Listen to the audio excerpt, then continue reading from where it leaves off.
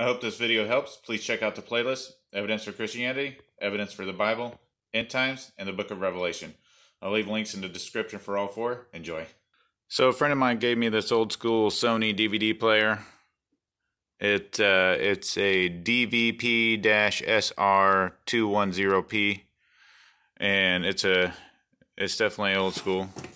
Uh, just has the component video, no HDMI and uh, he said that the videos would stop playing, freeze, and uh, or just wouldn't read the disc. So uh, that tells me the laser is probably dirty. But uh, let's power it on and see what it's doing. So I finally got it to fail. You stick a disc in, and it doesn't sound like it's spinning up at all. Sounds like it just keeps looking at the disc. Cannot play this disc. So it, it just kept saying loading. And this thing kept going wah, wah, wah, wah. But it would never spin up the disc. So let's figure out what's going on here. So before I go unplugging it and taking things apart, let's go ahead and open up the tray for the DVD player and then unplug it and just leave it open.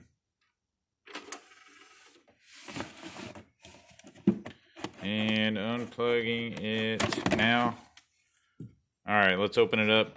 Got three screws in the back here.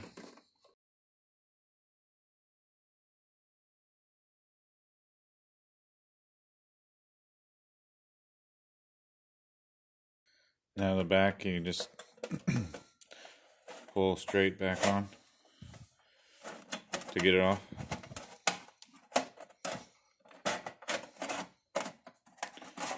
There we go. So here's what's doing in real time so you can see it.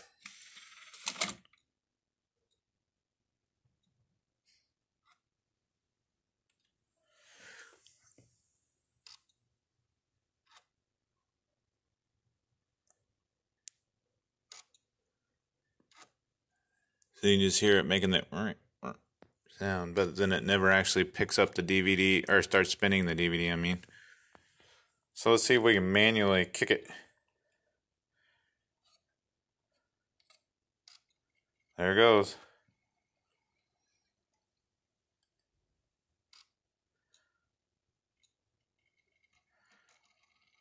All right. So that tells me that the motor's got a problem. Let's take it apart. So you'll see these foam stickers, these these plastic stickers, and uh, some rubber pads down here. I put all that stuff on there to reduce the vibration sound that it made because it made a lot of it. And, uh, let's take these two screws out to remove the drive.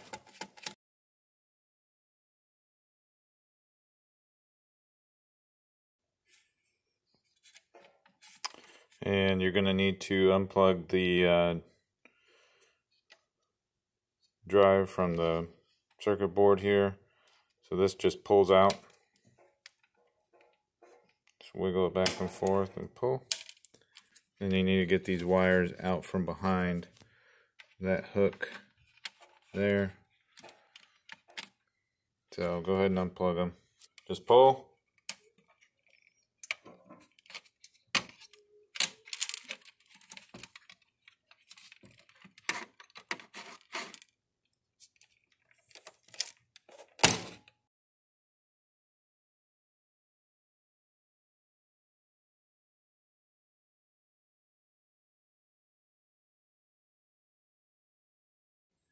All right, let's go ahead and take a drive assembly. Push this uh, tray in. Don't have to push it in all the way. Just enough to get it past the front cover. And then lift up on the drive. And, and pull back the drive while you lift up on this tab here. There we go. And disconnected it from the front cover. And right there is the drive motor that we're interested in. So after taking that drive assembly out, look at what we got here. Got this pile of black powder kind of scattered around. little piece of copper right there. That motor's shot. That motor burnt up at some point. I don't even know how it worked at all for a little bit. We're going to need to take, that just slides down that way. And this part also slides down. And you can see that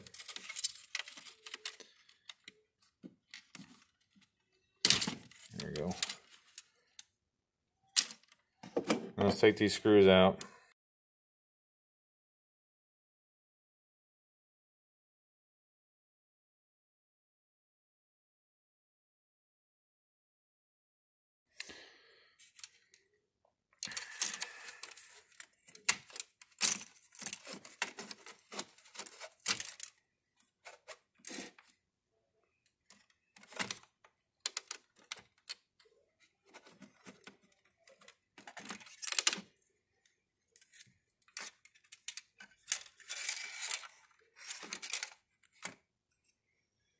There's our motor. And there's three screws it looks like holding that in. Just got to move this around until you get to the screw that holds it, or until you get to the screw hole. So I'm going to disconnect this from the entire drive assembly. So just pull. I want to take this motor out.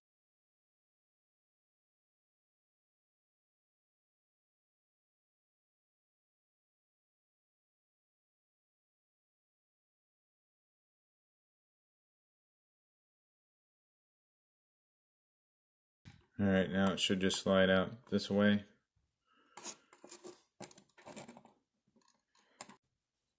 So I actually have a motor that'll work that I scrapped out of another CD-ROM. Uh, and it's got screw holes that line up and everything's pretty much the same.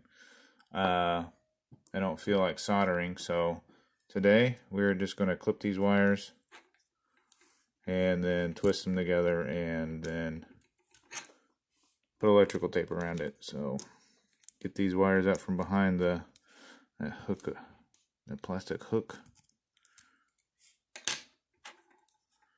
And then I'm going to cut them close to the motor. So now we need to transfer this over. Um, the hard thing to do is when you're putting it on the new motor is gapping it correctly. I actually found this tool here that has a handle that's the same width for the gap that I need. So it's just something that I'm going to have to test it with to make sure that it's that gap on the new motor. So if you have a tool to remove these, that's great. I don't.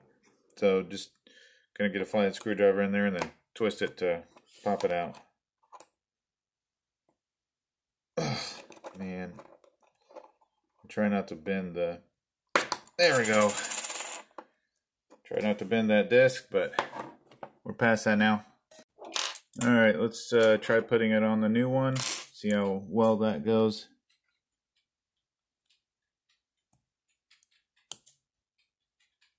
Oh yeah. It uh, went on there easy. Let's see if the gap is correct now. So the other one had a little plastic uh, collar that made the gap seem a little smaller, but this seems perfect. I would say we got it on there good. Let's try out uh, the new motor. We're gonna strip these wires back now and then just twist them together with the motor wires and tape them up. So these are the part numbers on the motor that came out if you're curious. And these are the numbers on the motor I have going in.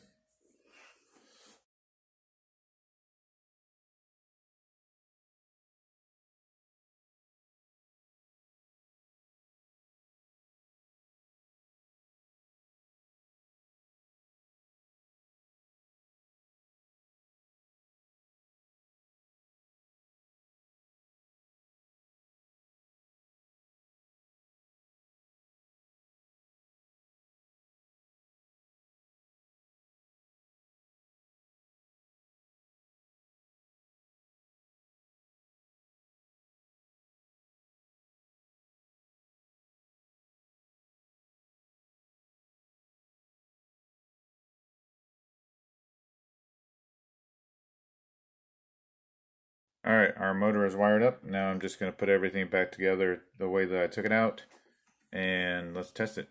So while it's apart, we should go ahead and clean the laser lens. I got my Q-tip to do it and my isopropyl alcohol here, rubbing alcohol. Also, um, I was not able to get all three screws in. I was only able to get these two.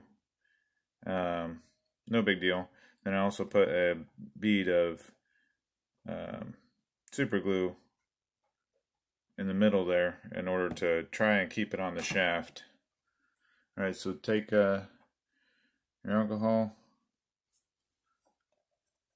and on the q-tip scrub that laser lens and then with the other side dry it off and then you want to buff it real good because that isopropyl alcohol will leave a film behind if you leave it on there to just dry. So you want to make sure you always buff that stuff off of there. Alright that should do it. Let's put it back together. Moment of truth. Powering it on.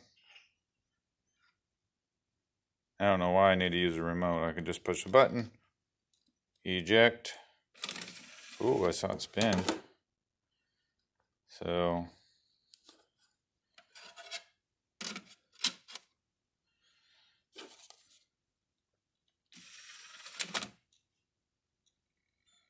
there it goes.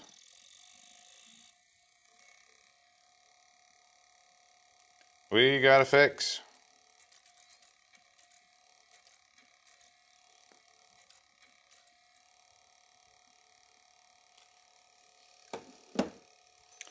All right, as you can hear, there's a bit of a vibration. That's why I had these rubber pads and and rubber feet and uh, foam and balance all going on.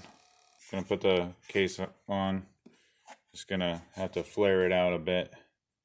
Just kind of pull out on it and slide it over the top in order to get it um, this lip around the bottom and then slide it on.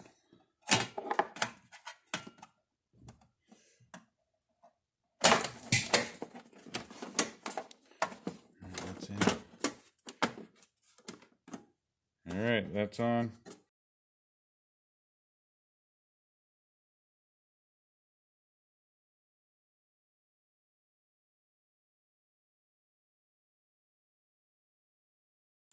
You want to leave the tray out and then let the DVD player pull the tray in.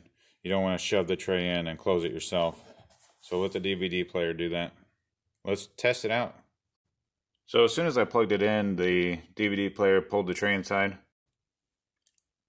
Alright, everything's back together. Let's just test it make sure it actually works.